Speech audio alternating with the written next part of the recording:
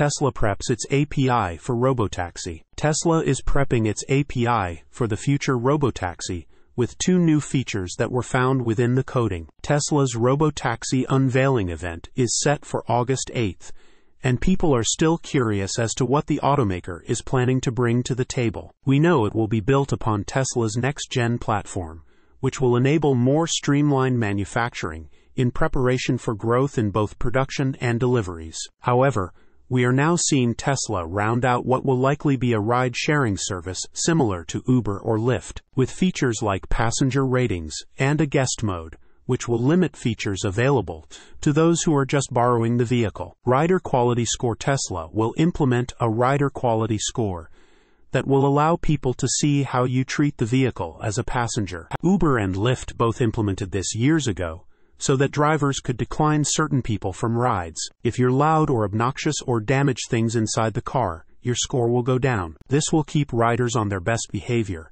and could eliminate things like theft or vandalism inside the car. Whole Mars Catalog first saw this and shared a screenshot of the API coding. It makes sense that Tesla would use this to potentially control some riders' behaviors. We all know there are some people you probably wouldn't want in your robo-taxi. Guest mode according to not a Tesla app.